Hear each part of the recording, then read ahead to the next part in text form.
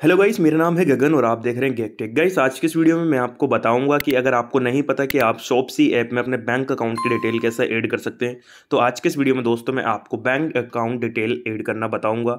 दोस्तों, मैं आपको बता दूँ कि बैंक अकाउंट डिटेल ऐड करना क्यों ज़रूरी है? दोस्तों, जब भी आप कोई भी ऑर्डर रिटर्न करेंगे सी ऑर्डर रिटर्न करेंगे तो आपको उसका रिफंड आपके बैंक में आएगा और इसीलिए आपको बैंक की अकाउंट डिटेल ऐड करनी पड़ेगी।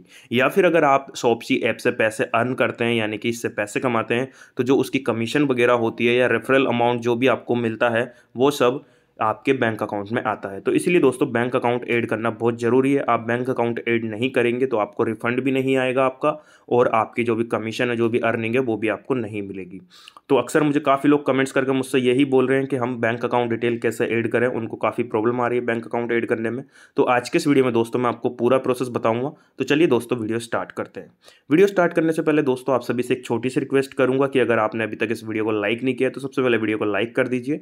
और दोस्तों चैनल पर नए हैं तो प्लीज़ हमारे चैनल को सब्सक्राइब कर लीजिए। तो सबसे पहले दोस्तों, आपने अपनी शॉपसी ऐप को ओपन कर लेना इस प्रकार से आपको इंटरफेस देखने के लिए मिलेगा। अभी स्क्रीन पर आप देख सकते हैं, मैंने इस ऐप को ओपन कर रखा है। उसके बाद दोस्तों, आपको स्क्रीन पर नीचे की तरफ़ एक अकाउंट का बटन देखने के लिए मिलेगा तो आपने इस बटन पर क्लिक करना है। जब दोस्तों आप इस बटन पर क्लिक करेंगे तो यहाँ पे आपको एक ऑप्शन देखने के लिए मिलेगा माई बैंक अकाउंट तो ये आप देखेंगे, दूसरे नंबर पे आपने इस पर क्लिक करना है।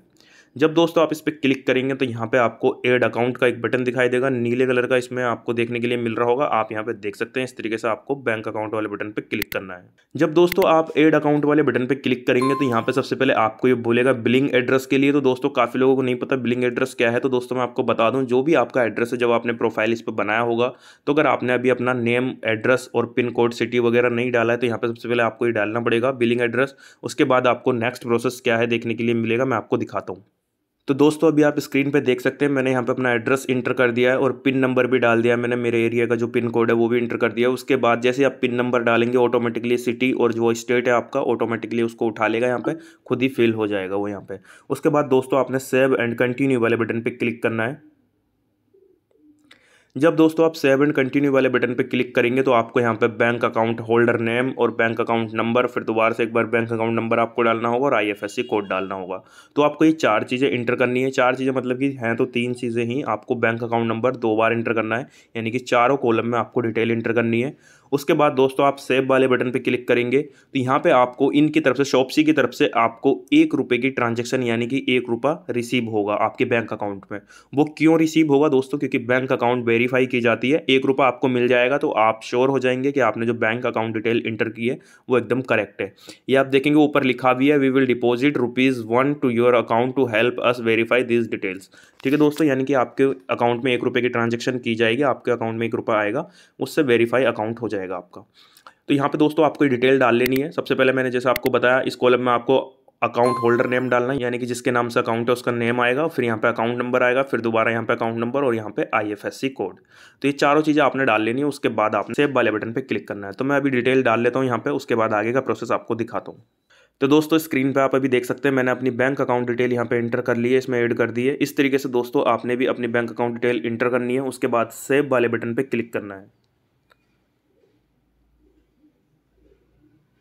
जैसे दोस्तों आप सेव वाले बटन पे क्लिक करेंगे, यहाँ पे दिखाएगा वेरिफिकेशन पेंडिंग तो ये वेरिफिकेशन पेंडिंग है। तो यहाँ पे जो आपके अकाउंट में एक रुपया आएगा, ये उस चीज़ को वेरीफाई करेंगे जब यहाँ पे बैंक अकाउंट डिटेल वेरीफाई दिखा देगा ये। तो अभी यहाँ पे लिखा रहा वेरिफिकेशन पेंडिंग तो दोस्तों, अभी आप देख सकते हैं स्क्रीन पे यहाँ पे आप लिखा आ गया अकाउंट वेरीफाइड यानी कि जो एक रुपये की ट्रांजैक्शन थी वो मुझे रिसीव्ड हो गई है और इनकी तरफ़ से भी अकाउंट वेरीफाई इन्होंने कर लिया है और यहाँ पे हमें मेरी बैंक अकाउंट डिटेल शो भी कर दी है। तो इस तरीके से दोस्तों, आपने अपनी बैंक अकाउंट डिटेल एड कर लेना है। अगर दोस्तों, आप अपनी बैंक अकाउंट डिटेल जो आपने ऐड की है, आप उसको डिलीट करना चाहते हैं, आपने उसमें मिस्टेक कर दिया या कोई प्रॉब्लम हो गई है तो आप उसको डिलीट वाले बटन पे क्लिक करके डिलीट भी कर सकते हैं। ये दोस्तों, आप देख सकते हैं मुझे यहाँ पे एक रुपया रिसीव हो गया मैसेज भी आ गया। इस प्रकार से आपको भी मैसेज रिसीव हो जाएगा।